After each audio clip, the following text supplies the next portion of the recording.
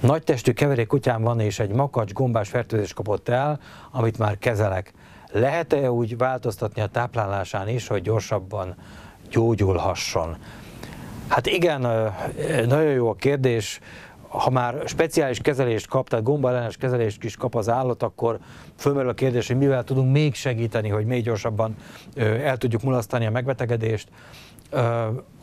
Az előbb említett szőrét, bőrét támogató anyagoknak a, a emelt adagolása vagy emelt adása az ilyenkor indokolt lehet, hiszen vélhetően ezeknek az anyagoknak az igénye is megnövekedett a gyulladásos megbetegedés miatt, bőrét érintő gyulladásos megbetegedés miatt, tehát a halolaj például egy jó, jó tápanyagforrás, amit tudnék ajánlani, de vannak gyógyszeres lehetőségek is, amivel lehet segíteni, amiben a, az szelén, a, a cink, a, a terítetlen zsírsavak, a C-vitamin és, és a réz és sok minden minden benne van, ezek mind olyan anyagok, amelyek kifejezetten célzottan a bőrét és a szőrét, a szőrnövekedést segítik elő, a bőrét táplálják.